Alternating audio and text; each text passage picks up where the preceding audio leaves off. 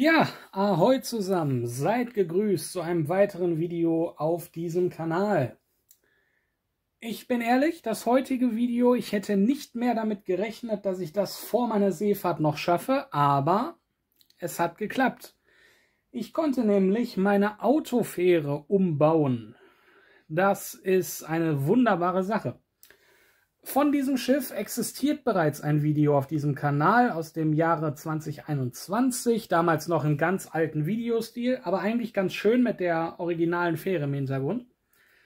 Hier ist jetzt das Update davon. Ähm, ich hatte nämlich die Fähre mit auf der Brix am Meer und da mochten alle das Modell, hat viel ähm, auch Aufmerksamkeit bekommen, was mich sehr gefreut hat. Und so habe ich dann die Entscheidung getroffen, ich muss da nochmal bei. Denn das alte Design der Fähre war gelb, wie das City Set. Und ich wollte sie aber gerne weiß haben, weil es gibt ein Original, was ziemlich ähnlich aussieht und was ich unbedingt gerne ähm, ja, nachstellen wollte. Bevor wir jetzt äh, zu sehr ins Detail gehen, hole ich euch einmal eben ganz kurz ab. Einen Augenblick. Genau, hier könnt ihr die Fähre nochmal sehen vor dem Umbau. Gelb, kleinere Autorampen und äh, das hatte einen Grund, warum die Fähre den gelben Rumpf hatte. Denn es gab mal von Lego, lange ist es her, dieses Set. Die 60119 aus dem Jahr 2016. Ein Jammer, dass heutzutage niemand mehr dieses Set auf dem Zettel hat, weil ähm, ein bombastisches City-Set. Absolut großartig. Und dieses Set ist der Grund oder die Grundlage für mein Mock. Definitiv. Ähm, ja, die Ähnlichkeiten sind nicht von der Hand zu weisen, das ist klar. Ich habe das Set damals auch schon gebraucht gekauft. Also als ich auf die Idee gekommen bin mit dem Mock, gab es das Set nicht mehr am Markt. Und somit, äh, ja, musste ich selber tätig werden aber das wurde ich dann ja auch, ne? Merkt euch einmal kurz diese Optik, weil das ist gleich noch einmal wichtig. Genau, wenn wir jetzt nämlich mal wieder zurückgehen, hier zu der Fähre, dann sehen wir einiges wieder. Also die grundsätzliche Form natürlich, das grüne Deck erkennt man wieder und ähm, ja, halt so die äußere Form auch. Meine Fähre ist verlängert um 8 Noppen mindestens, ja, um 8 Noppen. Damit äh, wir quasi in der Mitte, wenn ich die Autos hier einmal runternehme, könnt ihr sehen, sind im Endeffekt drei 16er Fliesen in grün, die die Basis bilden. Und äh, deswegen habe ich das Deck dann auch grün gelassen. Ansonsten die Brückenfenster sind schwarz geworden, weil mir das optisch besser gefallen hat. Und äh, ja, ansonsten die Fenster halt auch so ein bisschen angepasst. Lichterführung natürlich schön entgegengesetzt, damit immer in die jeweilige Richtung, in die sie fährt, die richtigen Lichter anliegen. Und ansonsten halt ein bisschen kreativ äh, ausgetobt. Bevor ich jetzt noch weiter auf das Mock eingehe, möchte ich euch einmal ganz kurz das Original zeigen, woran es angelehnt ist. Genau, hier haben wir nämlich das Original, die Fritz Medelanis. Diese Fähre verkehrte über ein halbes Jahrhundert ähm, zwischen Köln-Langel und Leverkusen-Hittdorf. Einem Ort, ja, wo ich in Teilen auch aufgewachsen bin. Teile meiner Familie kommen daher. Ich bin mit der Fähre viel gefahren als Gast. Und äh, die wollte ich unbedingt halt damit symbolisieren, äh, nachbauen, sinngemäß. Ihr seht vieles, was ähm, auch nicht passt. Ja, die Form der Klappen da vorne, die Farbe der Klappen, die Farbe des Brückenhauses, die schwarzen Fenster passen.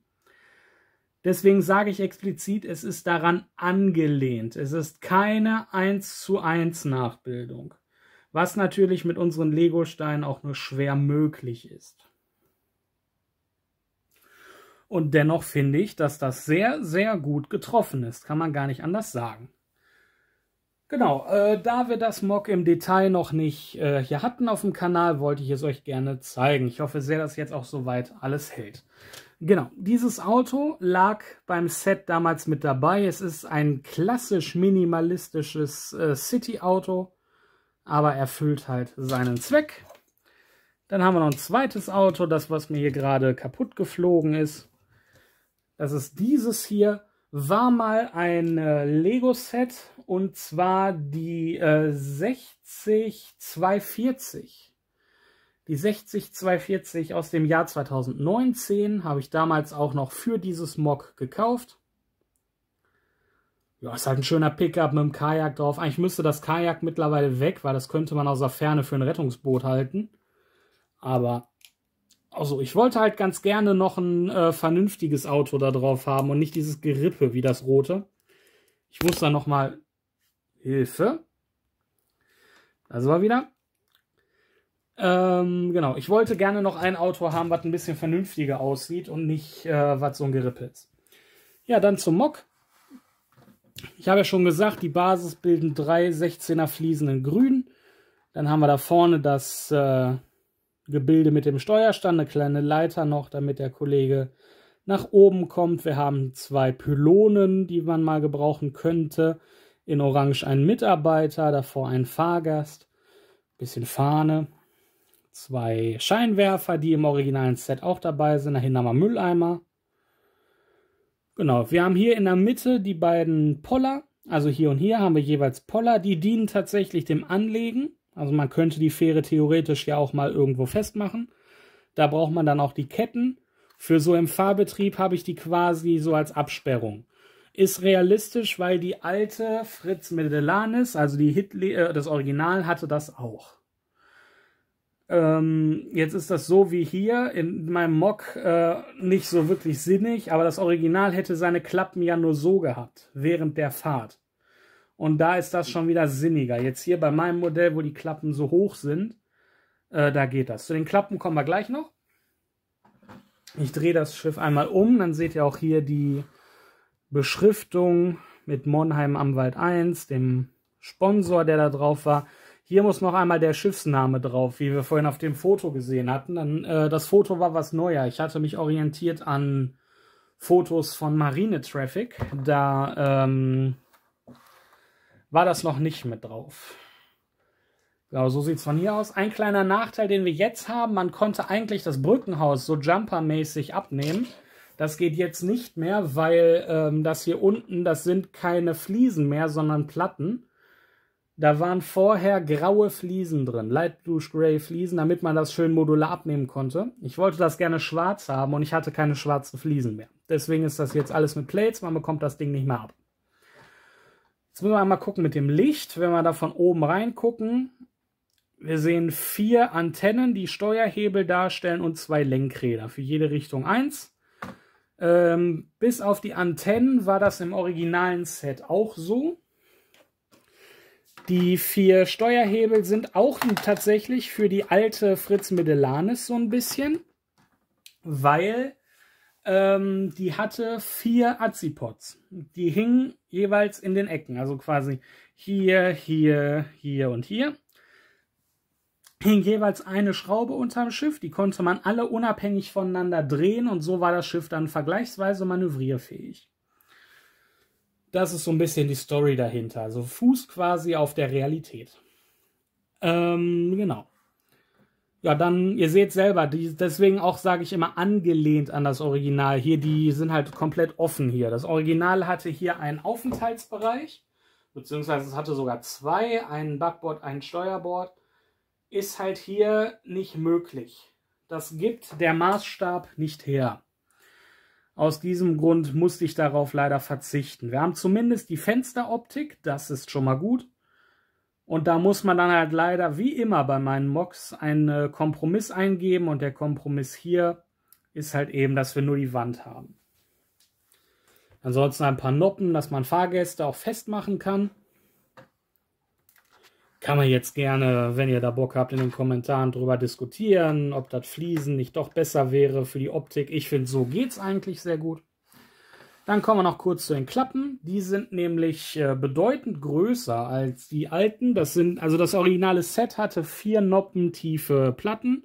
Die konnte man dann so komplett im 90-Grad-Winkel auch anwinkeln, hochklappen. Sah bedingt gut aus, hat für das Set aber getaugt. Jetzt wollte ich gerne, weil ich wollte ja wie gesagt nachahmen, ähm, dass die Platten, die Klappen etwas größer werden. Und deswegen haben wir diese Konstruktion.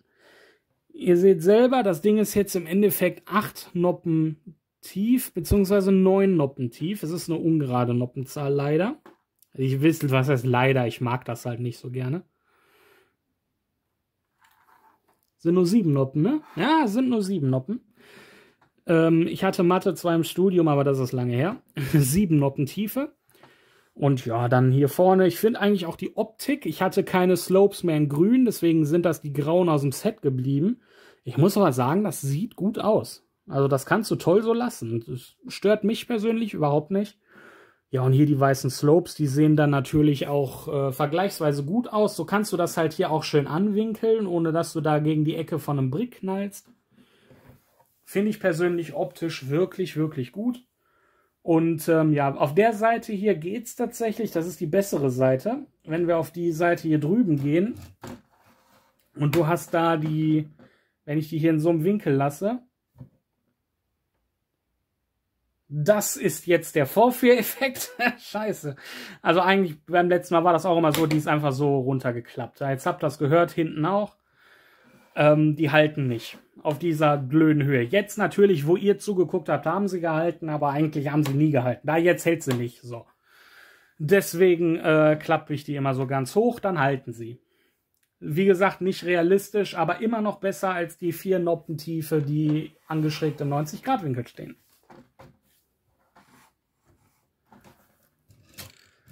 Genau. Das ist das Mock. Ich bin äußerst zufrieden. Wie gesagt, freue mich sehr, dass ich sie noch fertig bekommen habe. Und ähm, ja, schönes Backup. Wird jetzt erstmal nicht auf die Ausstellung mitkommen, weil ich bin voll, was das angeht. Habe aber eine andere schöne Idee dafür. Von daher äh, gucken wir mal. Gut, heute endlich mal ein etwas kürzeres Video. Das könnt ihr nächste Woche wahrscheinlich vergessen. Und ja, nächste Woche kommt schon das nächste. In diesem Sinne wünsche ich euch einen wunderschönen Sonntag. Lasst mir gerne ähm, in den Kommentaren eure Meinung zu diesem Set da. Und äh, habt eine gute Zeit. Ich melde mich ab. Bis dann und tschö.